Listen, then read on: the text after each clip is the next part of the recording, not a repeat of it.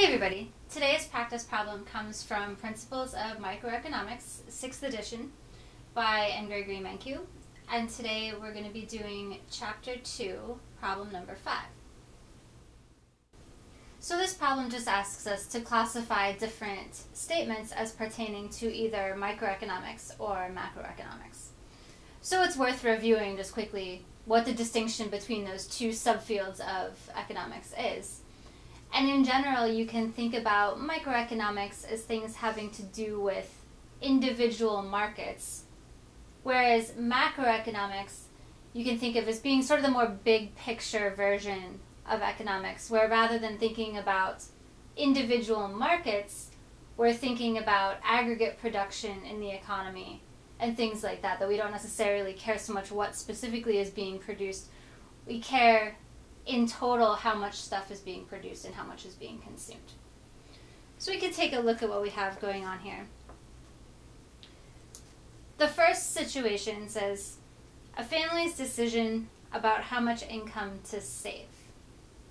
Now, this is actually an interesting one to start with because it's not immediately obvious which one this is going to be. Because we can think in a microeconomic context that this is at the level of the individual households that we're going to see we face a trade off between essentially consuming today or saving and consuming tomorrow. And we have a decision model for that that depends on interest rates and preferences and a whole bunch of different stuff. But we're not looking at a particular product. We're not saying, oh, it's an individual's decision about whether or not to buy a car. But nonetheless, this seems to relate back to an individual or a household level decision rather than asking, for example, what determines in aggregate how much the population is saving. So I would still argue that this is on more of a microeconomic level than a macroeconomic level.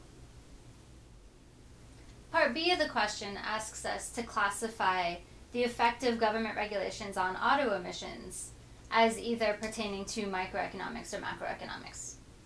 Now, in this particular case, we're talking about government regulation of a particular industry, of a particular market. We're not talking about, for example, income tax rates in general and their effect on the aggregate economy. We're talking specifically about auto emissions, which ties back to the market for cars. For this reason, this scenario is going to be one that pertains to microeconomics more so than macroeconomics. Part C of the question asks us to classify whether the impact of higher national saving on economic growth pertains more to microeconomics or macroeconomics. So we notice two things here. We say higher national saving. So we're not told, you know, this isn't about individual household decision making, that we're concerned at the level of all of the households in the economy together. And we're also concerned at the level of not a particular market, we're not talking about the market for mutual funds specifically or anything like that, or what happens to the stock price of Apple. We're talking about not only all the households lumped together, but all the savings lumped together, and how that affects the behavior of the aggregate economy, that we're talking about economic growth at a very high level. So this scenario would pertain more to macroeconomics than to microeconomics. Part D of the question asks us to classify a firm's decision about how many workers to hire as either pertaining to microeconomics or macroeconomics.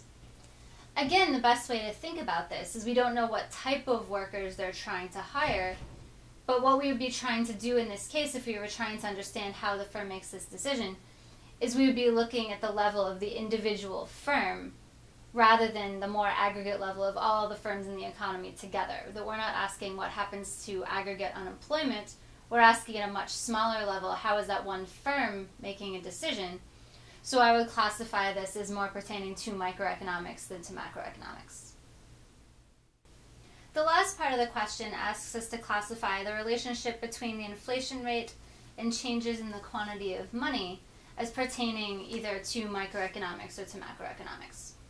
Now here, when we hear inflation rate, we're talking about not the change in the price of any individual good or service, which would be determined by an analysis of individual markets, but we're being asked what happens when there's a change in the aggregate price level, is inflation is a change in average prices or aggregate prices. So we're looking at a much higher level than the individual market. We're also looking at the quantity of money, which means that we're looking at the overall financial system in the economy. Both of these facts lead us to believe that this situation is going to pertain more to macroeconomics than to microeconomics.